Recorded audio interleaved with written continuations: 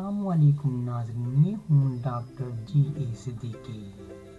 आज हम आपको स्वेलिंग ऑन किडनी यानी किडनी पे सूजन आ जाए, उसके इसबाब में ज़्यादातर जो देखा गया है वो आपके गुर्दे के अंदर स्टोन यानी पथरी ही हुआ करती है।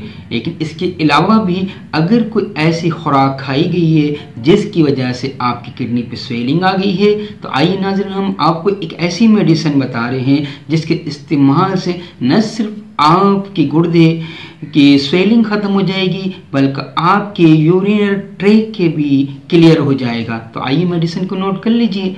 कैंथीरस थर्टी पावर के अंदर। इसके साथ लेंगे एपिस मेलिफिका थर्टी पावर में। कैंथरस थर्टी से पाँच कतरे आधे कप पानी में सुबह लिए जाएँगे।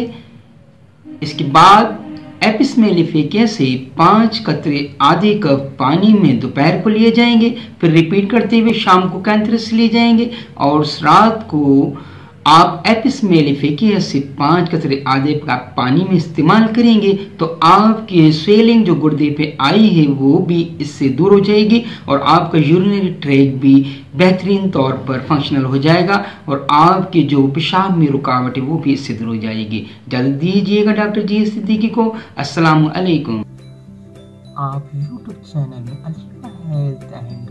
में सिंपल सर्च पर क्लिक करेंगे तो आप हमारे चैनल के तमाम प्रोग्राम्स को देख सकते हैं।